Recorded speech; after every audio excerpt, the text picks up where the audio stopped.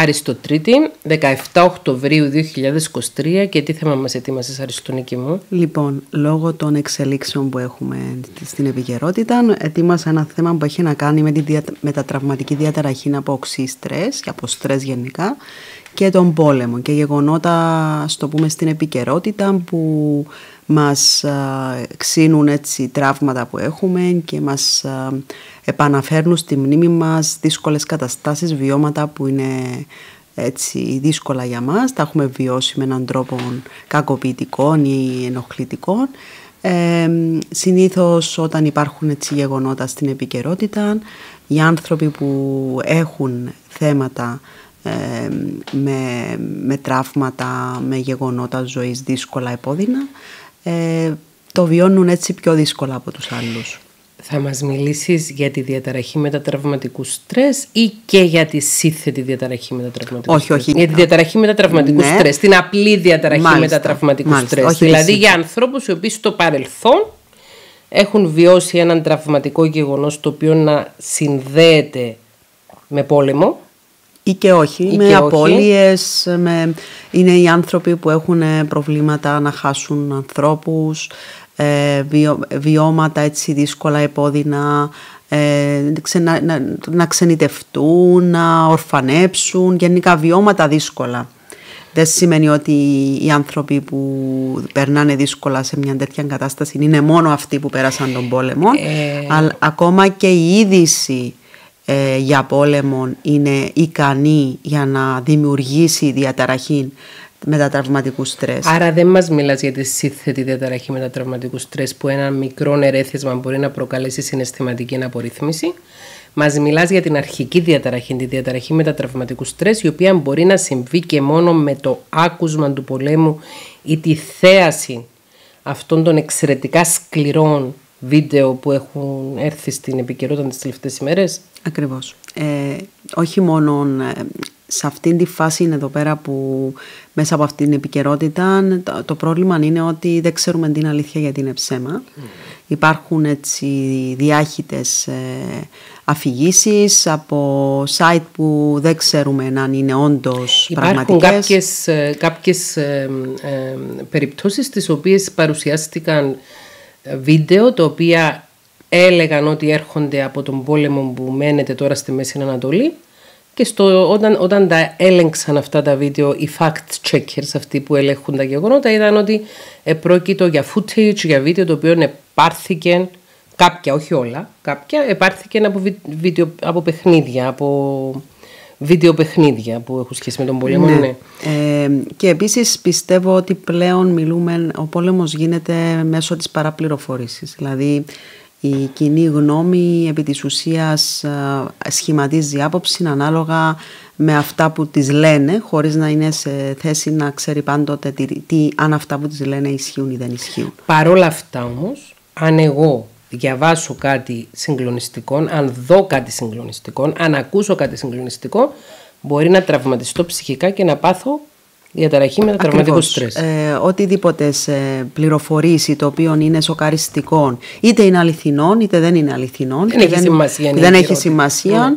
επειδή δεν είσαι εκεί να βλέπεις και μακάρι να μην είναι κανένας εκεί να βλέπει και να μην γίνονται ποτέ τέτοια πράγματα ε, είναι ικανό να σε απορριθμίσει και να σε επαναφέρει στη μνήμη σου βιώματα δύσκολα επώδυνα τα οποία σου ήταν πάρα πολύ δύσκολο να τα ξεπεράσεις και πλέον τα ζεις ξανά μέσω μιας κατάστασης που σε πληροφορούν εκ του μακρόθεν ότι συμβαίνει. Άρα έχεις μνημονική αναδρομή, έχεις φλασιά και θυμάσαι το γεγονός που σε έχει τραυματίσει στο παρελθόν. Ενώ στη σύνθετη διαταραχή μετατραυματικού στρες έχουμε συναισθηματική αναδρομή. Νιώθουμε όπως νιώθαμε στο παρελθόν, αλλά δεν μας έρχεται στο μυαλό το περιστατικό.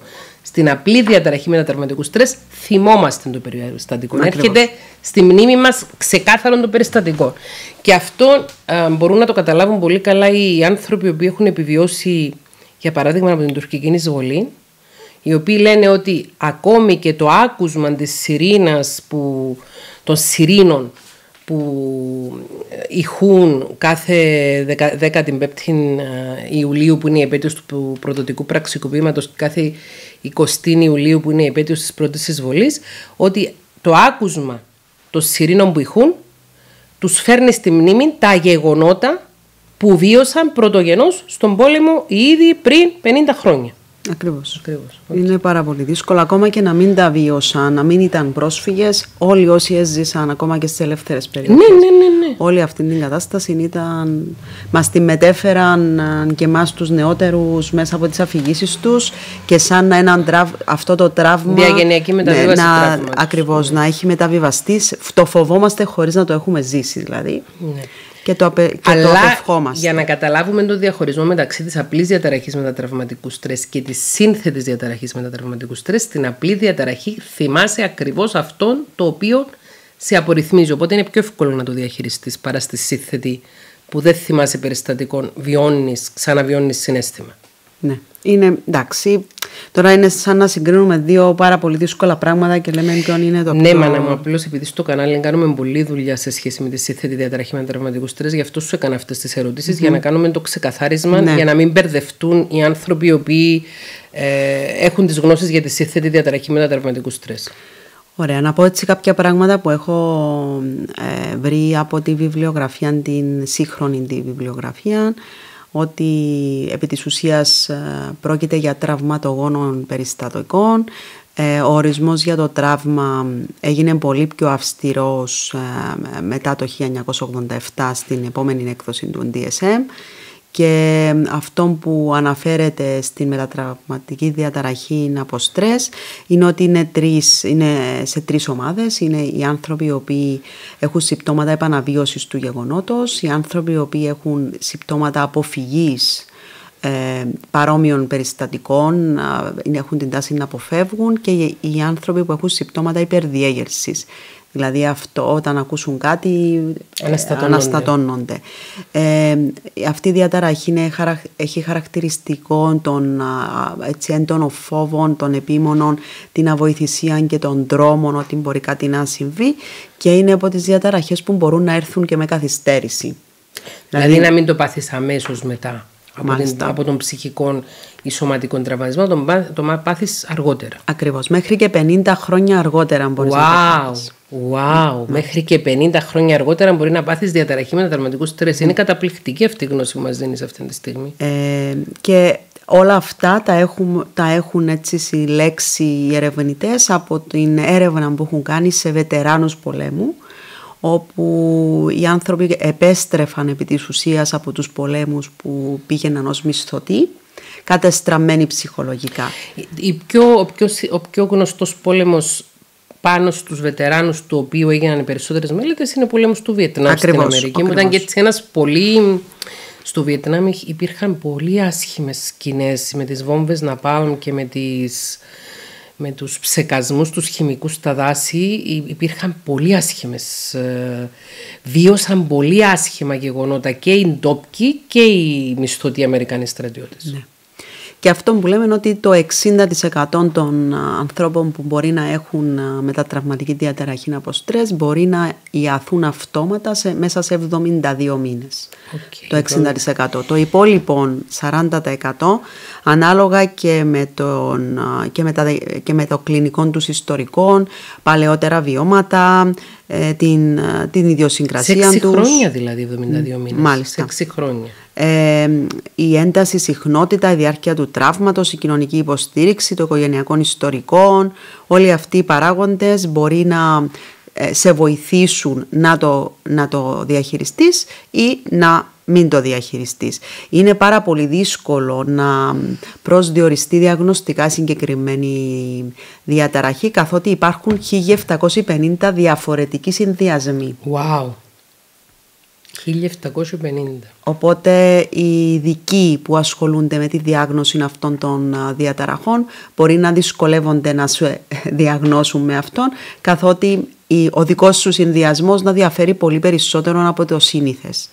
Και υπάρχουν και πάρα πολλές συνοσυρότητες με τη διαταραχή αυτή.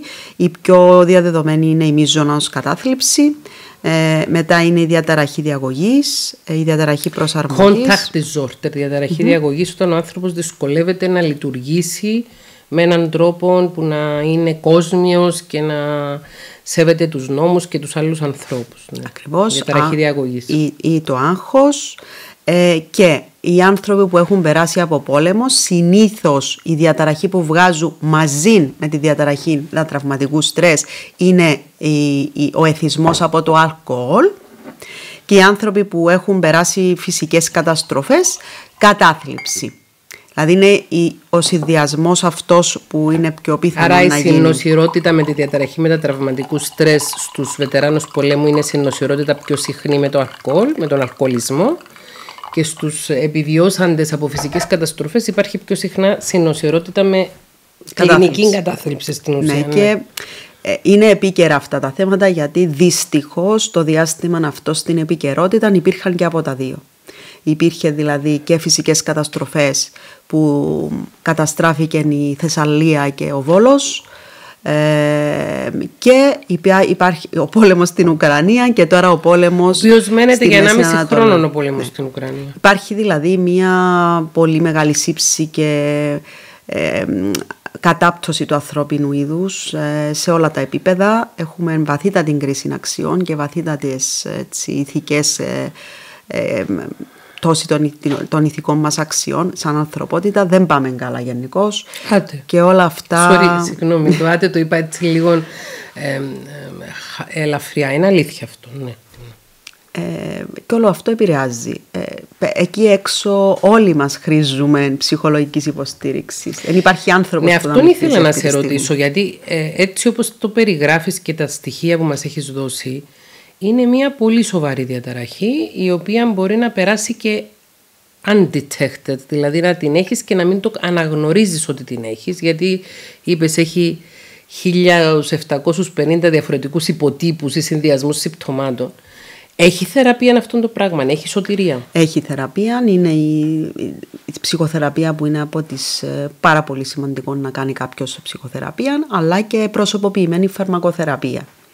Προσωποποιημένη δηλαδή που σας έχει γράψει ειδικά για εσάς ο ψυχίατρος μετά που σας έχει εξετάσει εντελεχώς και μετά που έχει κάνει μια ακριβή διάγνωση. Προσωποποιημένη. Ακριβή ναι. διάγνωση και όπου έχει μελετήσει το ιστορικό των φαρμάκων που παίρνει κάποιος και ξέρει ότι με αυτόν το ιστορικό φάρμακο δικαιού, ε, μπορεί ε, να δράσει καλά η τάδε ουσία ή η άλλη ουσία. Άρα, και αυτό μόνο ο ψυχίατρος δεν μπορεί το να το παίρνουμε, κάνει. Δεν παίρνουμε αντικαταθλιπτικά από έναν γιατρό που να μην είναι ψυχίατρος και επιλέγουμε το ψυχίατρο της δικής μας επιλογής και κοιτάζουμε για να επιλέξουμε ψυχίατρο να ακούσουμε μαρτυρίες από άλλους ε, ασθενείς ε, οι οποίοι έχουν να πούν καλά λόγια, να είναι ψυχίατρος ναι, Επίσης, να πούμε... Και συνεργασία ψυχιατρού και ψυχολόγου. Πάρα πολύ σημαντική. Mm. Επίσης να πούμε ότι όταν το άτομο αυτόν έχει και διάγνωση OCD, Ιδιοψυχαναγκαστικής διαταραχής. Η διάγνωση της μετατραυματικού στρες, ε, μετατραυματικής διαταραχής του στρες είναι πολύ πιο δύσκολη. Ε. Γιατί δεν είναι εύκολο. Ε, αυτοί είναι και οι λόγοι που εγώ προσωπικά όταν αναλαμβάνω καινούργια περιστατικά τους, τους κάνω πάρα πολύ ενδελεχή αξιολόγηση για να ξέρω με ποιον έχω να κάνω και να μπορώ να είμαι Υπάρχουν ειδικά ψυχομετρικά τεστ για να μπορέσεις να κάνεις αυτή την ακριβή διάγνωση. Γιατί είχα μια κουβέντα χθες με μια κοπέλα η οποία μου έγραφε στο Instagram ότι ε, κάνει ε, θεραπεία. Ε, μου είπε και για μια μέθοδο με την οποία εγώ δεν είμαι πάρα πολύ ενθουσιασμένη. Ε, και μου λέει, δεν, ο ψυχολόγος μου είναι εναντίον της διάγνωσης. Ε, Συστημικός πρέπει να είναι. Ίσως, ναι. Ε, εντάξει, ε, δεν θέλω να πω για να μην φωτογραφίσω. Ε, χρησιμοποιεί κάποιες μεθόδους εναλλακτικές. Α, μάλιστα. Ε, είναι ψυχολόγος όμως. Μου έστειλε το site του ανθρώπου, έχει πτυχίο ψυχολογίας, έχει άδεια να εξασκήσει του επαγγέλματος, αλλά έχει πάρει ένα δρόμο έτσι λίγο πιο εναλλακτικό, πιο α, διαφορετικό. Ε, και διαρωτώ αν ε, εσύ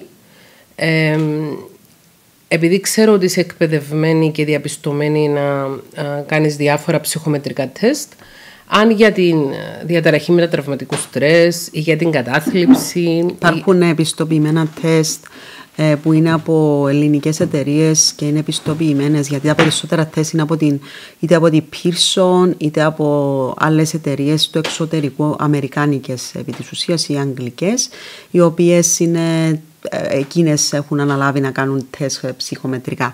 Ωστόσο τα πανεπιστήμια στην Ελλάδα και κάποιες εταιρείες ε, έχουν πάρει άδεια και κάνουν ειδική έρευνα για να μπορέσουν τα, να τα αυτά να, τα σταθμίσουν σε ελληνικό δείγμα. Δεν έχουμε σταθμισμένο σε κυπριακό δείγμα ε, τεστ, πολύ, λίγο, πολύ λίγα πρέπει να υπάρχουν ίσως κάποιες κλίμακες, αλλά σε ελληνικό δείγμα λόγω του, της εθνοτικής μας κατάστασης υπάρχουν. Και υπάρχουν και για την κατάθλιψη και για το άγχος και τα τεστ προσωπικότητας. Και κάποιος μπορεί να επικοινωνήσει μαζί σου, θα βάλω το email της Αριστονικής στην περιγραφή αυτού του βίντεο και να κλείσει διαδικτυακή. Γιατί οι περισσότεροι που βλέπουν τα βίντεο είναι στην Ελλάδα. Να κλείσει διαδικτυακές συνεδρίες ξεκάθαρα διαγνωστικές. Ναι, δηλαδή, ναι, μπορείς να σου στείλω email και σου πω, κυρία Αριστονίκη, θέλω να ξέρω τι έχω. Έχω διάφορα συμπτώματα που με ταλαιπωρούν και θέλω να ξέρω τι έχω. Μπορώ να κλείσω. Πόσες συνεδρίες θα χρειαστεί για να γίνει η διάγνωση, Γύρω στις πέντε. πέντε για να κάνουμε όσα περισσότερα τεστ μπορούμε για να κάνουμε μεταξύ του τεστ την εγκυρότητα τους και την αξιοπιστία τους. Για αν δηλαδή ε, ξεγελαστεί και απαντήσει κάτι σε κάποια ερώτηση είναι ο θεραπευόμενος ή ο αξιολογούμενος να το βρει το άλλο το τεστ. Okay. Άρα μας λες τώρα, είναι πολύ σημαντικό, σημειώστε το, ακόμη και αν κάποιος κάνει ε, ψυχοθεραπεία ή πηγαίνει σε κάποιο ψυχίατρο και παίρνει φαρμακευτική αγωγή, θα μπορούσε να επικοινωνήσει μαζί σου ξεκάθαρα μόνο για διάγνωση. Μάλιστα. Και λες ότι χρειάζονται πέντε ε, ψυχοδιαγνωστικές συνεδρίες τις οποίες μέσω υπολογιστή θα τους δώσεις τα τεστ για να τα κάνουν, θα αξιολογήσεις τα τεστ και θα τους δώσεις τη διάγνωση. Ακριβώς. Okay. Πολύ ενδιαφέρον τούτο, πολύ χρήσιμο. Τώρα για την μετατραυματική επειδή, διαταραχή. Συγγνώμη που, σας ναι. διακοπτώ, που σε διακοπτώ, επειδή γνώριζα ότι είσαι διαπιστωμένη να κάνεις το τεστ για το ΔΕΠΗ, να κάνεις το τεστ για το φάσμα του αυτισμού, αυτά γνώριζα. Τώρα είναι πολύ ενδιαφέρον αυτό ότι μπορείς να κάνεις και κλινικές διαγνώσεις, ότι έχεις διαπιστωθεί και σε αυτά τα τεστ, οπότε διαπιστευθεί. Όχι διαπιστωθεί, διαπίστευση. Διαπίστευση σημαίνει να σε εκπαιδεύσει η εταιρεία ή το πανεπιστήμιο που έχει σταθμίσει το τεστ ώστε να μπορείς να το δίνεις ορθά. Όχι μόνο σε εκπαιδεύουν, αλλά και πρέπει να τα τεστ μπορεί να τα αγοράζει μόνο κάποιος που είναι ψυχολόγος με άδεια ασκήσεω επαγγέλματο και μόνο εφόσον εκπαιδευτεί. Δεν μπορείς να αγοράσεις ένα τεστ εάν δεν ναι, ναι, ναι. είσαι ψυχολόγος με άδεια ασκήσεω επαγγέλματο. Ο οποίος να έχεις εκπαιδευτεί κιόλας. Ναι, δηλαδή, εγώ που είμαι ψυχολόγος και δεν έχω εκπαιδευτεί με άδεια ασκήσεω επαγγέλματο και δεν έχω εκπαιδευτεί, δεν μπορώ να πάω να αγοράσω το τεστ. Θα μου πούν Έλα να σε εκπαιδεύσουμε, να περάσεις τις εξετάσεις, ότι ξέρεις πώς να κάνεις το τεστ και μετά. Δεν είναι όλοι οι ψυχολόγοι diagnosticians λέγεται στα αγγλικά. Δεν είναι όλοι οι ψυχολόγοι ψυχοδιαγνωστές και για να γίνεις ψυχοδιαγνωστής πρέπει να πας να εκπαιδευτείς σε κάθε τεστ ξεχωριστά, να διαπιστωθείς, δηλαδή να δώσεις τις εξετάσεις, να σε ελέγξουν ότι όντως μπορείς να το δώσεις και να αγοράσεις το τεστ. Εκτός αν πρόκειται για κλίμακα. Οι κλίμακες που είναι απλά ερωτηματολόγια, σταθμισμένα μεν, αλλά είναι απλές, μπορεί να τις κάνει κάποιος ο οποίος δεν έχει διαπιστευτεί. Εμείς τώρα μιλάμε για να κάνει κάποιος έναν επίσημο τεστ ψυχοδιάγνωσης. Ναι, και να ξέρεις ναι. ότι έχω αυτό, ναι, το εδώ, το έκανα το τεστ, έκανα πέντε συνεδρίες, απάντησα χίλιες ερωτήσεις. Πολλές ερωτήσεις. Ε, και ε, είναι πολύ σημαντικό γιατί πολλές φορές οι, οι θεραπευόμενοι ή οι ψυχοεκπαιδευόμενοι, ας το πούμε, δεν ε, κουράζονται δικαίως και δεν μπορούν εύκολα να, που να, να δεχτούν κάτι τέτοιο. Αλλά είναι σημαντικό όταν γίνεται εξ αποστάσεως να έχουμε μια καθαρή εικόνα του ποιον έχουμε απέναντί μας. Γιατί μπορεί αυτός ο άνθρωπος ε, όταν του κάνεις μια άσκηση ή όταν γενικότερα του μιλήσεις με έναν τρόπο επειδή έχει κάποιον πρόβλημα να μην μπορέσει να το δεχτεί ή να τα γίνει χειρότερα. Οπότε πρέπει να ξέρεις με ποιον έχεις να κάνεις. Και επίσης εγώ είμαι υπέρ του αυτού του τρόπου αξιολόγησης ακριβώς γιατί είναι ένας πιο ποσοτικοποιημένος τρόπος και είναι πιο εύκολο να είναι πιο αντικειμενική η παρατήρηση ε, σε σχέση με την κλινική συνέντευξη ή με το κλινικό ιστορικό που φυσικά υπάρχει που είναι πιο ε, υποκειμενικό και ο καθένας μπορεί να σου πει αυτό που νομίζει εκείνος χωρίς να είναι απαραίτητα μόνο αυτό. Άρα όποιος νιώθει αδιάγνωστος μπορεί να επικοινωνήσει με τον δόκτωρα Αριστονίκη Θεοδοσίου.